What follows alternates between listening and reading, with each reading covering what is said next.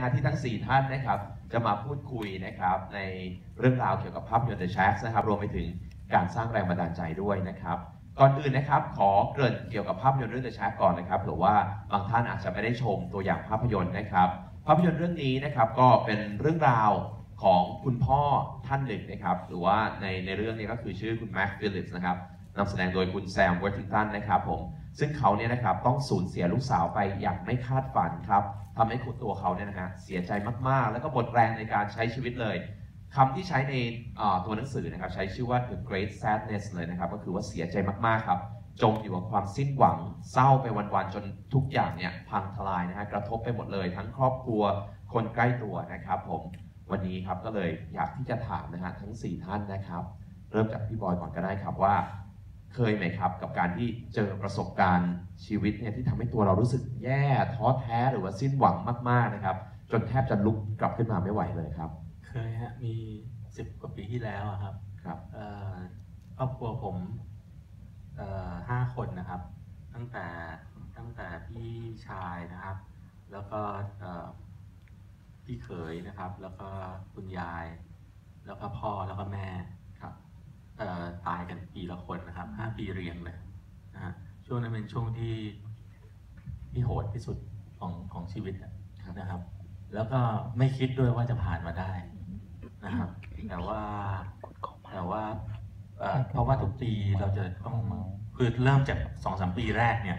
เราเริ่มรู้แพทเทิร์นแล้วว่าปีต่อไปต้องมีคนตายมันมันไม่น่าจะใช่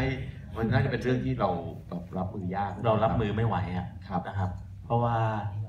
อะอย่างพี่เขยเนี่ยครับ นะฮะเออพี่พี่ชายก่อนที่เขาจะตายเขาก็โทรมาหาผม ครับ แล้วก็ผมอยู่ต่างประเทศนะครับ ครับ แล้วก็เขาก็พูดคุยแบบว่า ปกติก็ไม่ได้โทรคุยกันมากอะไรเงี้ย แต่ว่าเขาก็โทรมาบอกเออเออถ้าพี่ทำอะไรผิดไปสมัยก่อนขอโทษด้วยนะอะไรเงี้ย แล้ววันรุ่งขึ้นเขาก็ตายเฉยเลยนะฮะแล้วก็แล้วก็แล้วก็ทีต่อมาก็พี่เคยผม เพิ่งจะมีลูกกับพี่พี่พี่สาวผมครับเอ่อเดือนเดียวนะครับ ลูกยังแบบอะไรไม่ได้แบบไม่รู้เรื่องอะไรเลยครับแล้วก็โดนรถชนตาย ซึ่งซึ่งวันที่โดนรถชนเป็นวันที่เขาผมอยู่กับเขาแล้วก็ผมก็ผมส่งเขาเอ่อผมส่งเขาที่จะข้ามถนนกลับบ้านไปครับนะครับ แล้วผมก็ขับไปเลย ผมไม่ได้เห็นเหตุการณ์แต่ว่าหลังจากนั้นนะเขาข้ามถนนไปแล้วก็โดนรถชนครับอ่า แล้วก็ต่อมาก็คุณยายแล้วก็แล้วก็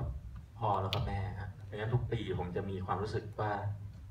ผมไม่อยากให้ใครตายแล้ว ผมเบื่อที่จะไปงานศพมากครับอืมแล้วก็เบื่อการร้องไห้ เบื่อการสูญเสียอืมอะครับ ตอนนั้นถือเป็นถือเป็น great pain อะเกรเกรซแนสเหมือนในใช่ภาพยนตร์เรื่องนี้นะครับใช่คตรัอบนนั้นพี่บอยรู้สึกโกรธหรือว่าโทษใครไหมครับ ว่าทำไมต้องมาเจอปัญหาแบบนี้ทำไมต้องเป็นเรา มันไม่รู้จะโทษใครอะฮะครับ เพราะทุกคนพอตายเขาก็ต้องตายอะครับ ใช่ไหมฮะแล้วก็แต่ก็รู้สึกไม่อยากให้เกิดขึ้น แล้วก็รู้สึกเหนื่อยต่อการที่จะต้อง ที่จะต้องตื่นขึ้นมาคิดว่าวันนี้มันจะเกิดขึ้นอีกไหม ครับ ผมคิดอย่างนั้นอยู่ตลอดจนกระทั่งจนกระทั่งแม่เสีย ครับ แล้วก็แล้วก็ติดพันมาเป็นแบบว่า เอ๊ะวันนี้จะมีใครตายปะเนี่ย วันนี้จะมีใครตายเป็นหลอนเลยนะฮะครับอ่าเพราะว่ามันเป็นระยะเวลานานด้วยใช่ไหมใช่แล้วดังนั้นเราจะคิดตลอดเลยว่า วันนี้เราต้องทำให้ดีที่สุดกับทุกคนนะอืมที่ที่เราที่เรารักอะถ้า ครับถ้าเขาตายแล้วไม่งั้นเราจะเสียใจอะไรเงี้ยครับนะครับ แล้วพี่บอยผ่านพ้นความเสียใจหรือว่าความวิตกกังวลพวกนั้นนี้มาได้ยังไงครับ คือสำหรับผมผมเชื่อพระเจ้านะครับ ครับ เอ่อผมเชื่อว่าพระเจ้ามีแผนการที่ดียิ่งกว่านั้น ให้เรานะครับ การตายก็อาจจะเป็นการการที่เราจากกันชั่วคราวเพราะเราก็จะได้พบกันบนสวรรค์อีกครั้งหนึ่งอันนี้คือความครับเชื่อของเรา